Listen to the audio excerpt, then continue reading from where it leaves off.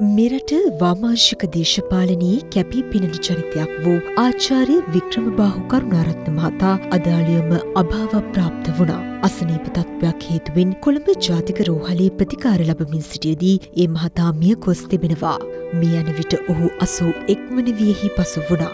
එක්දස් නවසය හතලිස් තුන වර්ෂයේ මාර්තු අටවැනිදා ලුණුකල ප්‍රදේශයේදී උපද ලැබූ ආචාරය වික්‍රමබාහු කරුණාරත්න මහතා සිය ප්‍රාථමික අධ්‍යාපනය මතුගම ආනන්ද ශාස්ත්‍රාල විද්‍යාලයනුත් සිය ද්විතීක අධ්‍යාපනය කොළඹ ආනන්ද විද්‍යාලයනුත් හදාරා තිබෙනවා. විදුලි ඉංජිනේරු විද්‍යාව පිළිබඳව පළමු පන්තිය සම්මාර්ථයක් ලබා පසුව කේම්බ්‍රිජ් විශ්වවිද්‍යාලයේ ඉගනීම සඳහා ශිෂත්වයක් ලබාගිය වික්‍රම බාහු කරුණාරත්න මහතා එක්දහස් නවසය හැත්තෑවේදී තම ආචාරය උපාධියද ලබාගත්තා. අනතුරුව මෙරට දේශපාලනයට පිවිසුණු ඒ මහතා කම්කරු ජනතාව වෙනුවෙන් කැපී පෙනෙන මෙහෙවරකද නිරත වුණා. එසේම දේශපාලනය තුළ තම ප්‍රතිපත්ති කිසිදු අභියෝගයක් හමුවේ වෙනස් නොකර ඒ ආකාරයෙන්ම පවත්වාගෙන යාමද ආචාර්ය වික්‍රම බහු මහතාගේ විශේෂත්වයක්.